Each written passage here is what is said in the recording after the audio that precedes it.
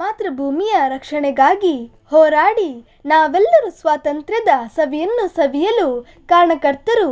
ತನುಮನದನಗಳೆಲ್ಲವನ್ನು ದೇಶ, ಸಮಾಜ ಹಾಗೂ ಧಾರ್ಮಿಕ ಸೇವೆಗೆ ನಿಸ್ವಾರ್ಥದಿಂದ ಸಮರ್ಪಿಸಿದ ಹಿರಿಯ ಸ್ವಾತಂತ್ರ್ಯ ಹೋರಾಟಗಾರ, ಅಪ್ಪಟ ದೇಶಭಕ್ತ, ಆದರ್ಶ ಗಾಂಧಿವಾದಿ ಶ್ರೀ ಭೋಜರಾಜ ಹೆಗ್ಡೆ ಪಡಂಗಾಡಿ ಅವರ ಸಂಕ್ಷಿಪ್ತ ಪರಿಚಯ.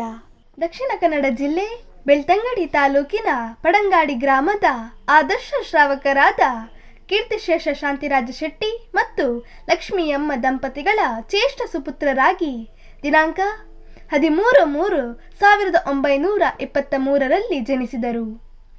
ಬೆಳ್ತಂಗಡಿಯಲ್ಲಿ ಎಂಟನೆಯ ತರಗತಿಯವರೆಗೆ ಶಿಕ್ಷಣ ಪಡೆದರು.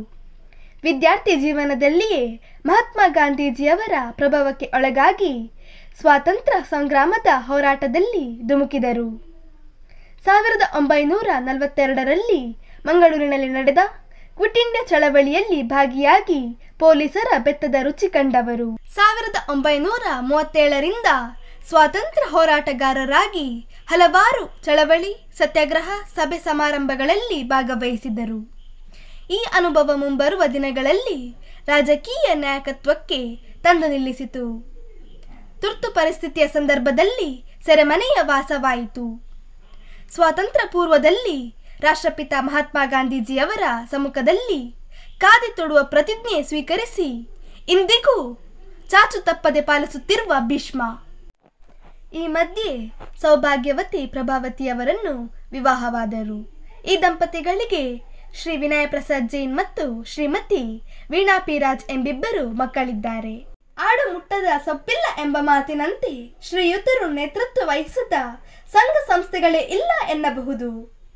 ಸ್ಥಳೀಯ ಯುವಕ ಮಂಡಲ, ಪಂಚಾಯತ್, ತಾಲೂಕು ಹಾಗೂ ಜಿಲ್ಲಾ ಮಟ್ಟದ ನಾಯಕತ್ವ ಅಲ್ಲದೆ ಜೈನ್ ಮಿಲನ್ ಮಾತ್ರವಲ್ಲದೆ ಅಂತಾರಾಷ್ಟ್ರೀಯ ಸಂಸ್ಥೆಗಳಾದ ರೋಟರಿ ಲಯನ್ ಸಂಸ್ಥೆಗಳಲ್ಲಿ ಸಕ್ರಿಯರಾಗಿ ಸೇವೆ ಸಲ್ಲಿಸಿ ಮಾದರಿ ವ್ಯಕ್ತಿಯಾಗಿ ಆದರ್ಶ ಮುಕುಟರಾದವರು. ಒಮ್ಮೆ ಆಗಿನ ರಾಜಕೀಯ ಧುರಿಣ ಎಸ್. ನಿಜಲಿಂಗಪ್ಪನವರು ಸ್ವಾತಂತ್ರ್ಯ ಹೋರಾಟದ ಸೇವೆಗೆ ಇವರಿಗೆ ಐದು ಎಕರೆ ಜಮೀನನ್ನು ಮಂಜೂರು ಮಾಡಿದಾಗಿ ಹೇಳಿದಾಗ, ನನಗೆ ನನ್ನ ಹಿರಿಯರಿಂದ ದೊರೆತ ಆಸ್ತಿ ನನ್ನ ಸಂಸಾರಕ್ಕಾಗುವಷ್ಟು ಇದೆ ಎಂದು ಹೇಳಿ ವಿನಮ್ರತೆಯಿಂದ ಅದನ್ನು ನಿರಾಕರಿಸಿ ಅಪರಿಗ್ರಹಕ್ಕೆ ಒತ್ತುಕೊಟ್ಟವರು.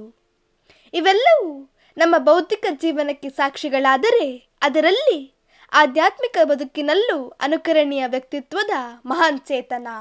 ಆಚಾರ್ಯ ವಿದ್ಯಾನಂದ ಮುನಿಗಳು ವಿಹಾರ ಮಾಡುತ್ತಾ ಇವರ ಮನೆಗೆ ಬಂದು ಆಹಾರ ಸ್ವೀಕರಿಸಿದರು. ಇದು ಶ್ರೀಯುತರ ವಯಾವೃತ್ತಿಗೆ ದಕ್ಕಿದ ಫಲ ಎಂದರೆ ತಪ್ಪಾಗಲಾರದು. ಇವರ ದಾರಿಯಲ್ಲಿ ಪುತ್ರ ಚಿರಂಜೀವಿ ವಿನಯ ಪ್ರಸಾದ್ ಸಾಗುತ್ತಿರುವುದು ಶ್ಲಾಘನೀಯ. ಇತ್ತೀಚೆಗೆ ಬೆಳ್ತಂಗಡಿ ತಾಲೂಕಿನ ದಿಡುಪೆ ಸಮೀಪ ಸಂಭವಿಸಿದ ಪ್ರವಾಹ ದುರಂತದಲ್ಲಿ ಬಡವರ ಸಂಕಷ್ಟಕ್ಕೆ ಮರಗಿದ ಈ ಹಿರಿಯ ಚೇತನ ತೊಂಬತ್ತೆಂಟರ ವಯಸ್ಸಿನಲ್ಲಿ ಹಾಸಿಗೆ ಬಿಟ್ಟೇಳಲಾಗದ ಪರಿಸ್ಥಿತಿಯಲ್ಲಿದ್ದರೂ ಯಾರದೋ ಸಹಾಯ ಪಡೆದು ತನ್ನ ಕಾಲಿನ ಚಿಕಿತ್ಸೆಗೆಂದು ತೆಗೆದಿಟ್ಟ. ಹದಿನಾಲ್ಕು ಸಾವಿರದ ಐನೂರು ರೂಪಾಯಿಗಳಲ್ಲಿ ಹತ್ತು ಸಾವಿರ ರೂಪಾಯಿ ನಗದು ಹಾಗೂ ಒಂದಿಷ್ಟು ಹಾಸು ಹೊದಿಕೆಗಳನ್ನು ಒಟ್ಟು ಮಾಡಿಕೊಂಡು ವಿದ್ಯಾರ್ಥಿಗಳಿಗಾಗಿ ಸ್ವಲ್ಪ ಪುಸ್ತಕಗಳನ್ನು ಹಿಡಿದುಕೊಂಡು ತಾಲೂಕು ಕಚೇರಿಯ ಅಧಿಕಾರಿಯನ್ನು ಸಂಪರ್ಕಿಸಿ ಫಲಾನುಭವಿಗಳಿಗೆ ಅವುಗಳನ್ನು ನೀಡುವಂತೆ ಮನವಿ ಮಾಡಿದ ಹೃದಯವಂತ.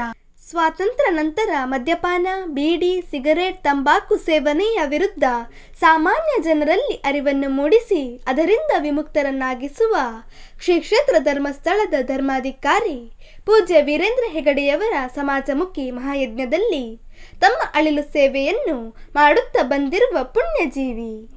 ಸಾವಿರದ ಒಂಬೈನೂರ ತೊಂಬತ್ತೇಳರ ಸ್ವಾತಂತ್ರ್ಯ ಸುವರ್ಣ ಮಹೋತ್ಸವದಲ್ಲಿ ಮುಂಬೈ ಅಖಿಲ ಭಾರತ ನೇತಾಜಿ ಕ್ರಾಂತಿಕಾರಿ ಸಂಘದವರಿಂದ ಗೌರವ ಪ್ರಶಸ್ತಿ, ನಮೋಸ್ತು ಶಾಸನ ಸೇವಾ ಸಮಿತಿಯಿಂದ ತ್ಯಾಗಿ ಸೇವರತ್ನ, ಸಿದ್ಧಾಂತ ಕೀರ್ತಿ ಪ್ರಶಸ್ತಿ, ಮಹಾಕವಿ ರತ್ನಾಕರ ವರ್ಣಿ ಪ್ರಶಸ್ತಿಗಳನ್ನು ಮುಡಿಗೇರಿಸಿಕೊಂಡಿರುವ ಇವರನ್ನು ಅನೇಕ ಸಂಘ ಸಂಸ್ಥೆಗಳು ಸನ್ಮಾನಿಸಿ ಗೌರವಿಸಿವೆ.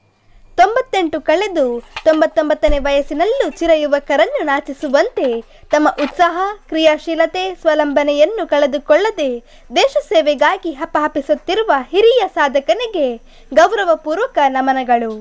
ಇವರೇ ಇವತ್ತಿನ ನಮ್ಮ ಕಾರ್ಯಕ್ರಮದ ಮಹಾನ್ ವೀರ. ಭಾರತ್ ಮಾತಾ ಕಿ ಜೈ. ಭಾರತ್ ಮಾತಾ ಕಿ ಜೈ.